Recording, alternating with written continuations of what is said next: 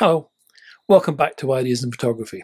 Well, the new term is about to start, so good luck to everyone starting a course and hope everything works for you. The main thing in starting a course is to realize that you're there to make mistakes. Yes, I said make mistakes, because creativity comes from trying something and indeed failing.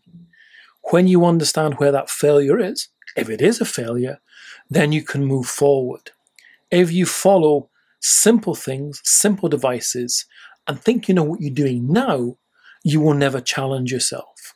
So get out there, try new things, and try and experiment. And don't be afraid when you make mistakes. The key thing is that critical reflection. Go back and look at it. What happened? Equally, you have to ask yourself the important question what are my photographs saying? What are they telling? That is, it is most important when a simple subject like landscape comes up. Now, there are plenty of landscape pictures. Uh, a, a, subject that I really like, although I'm not very good at. Um, but you have to understand what the picture is saying. It is not a picture postcard. You have to give us some idea of how you feel and how you react to the land as you see it.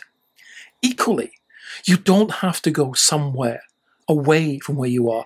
Just stay in your local backyard. Stay where you are.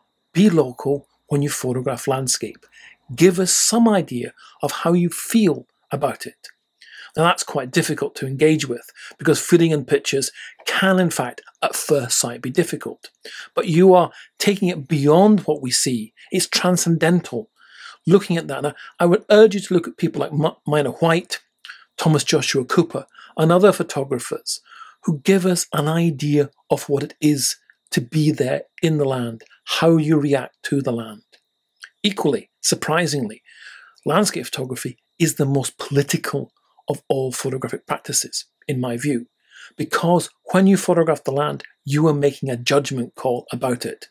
So, as a Scot, I would be drawn to Scotland, photograph it, but I'd photograph it in a certain way to say what I think about Scotland. So you have to photograph where you are and tell us how you think about it. However, good luck with it. Best wishes. Tell us how you're getting on. Follow us on YouTube, Vimeo, and WordPress. Speak to you later then. Bye bye now.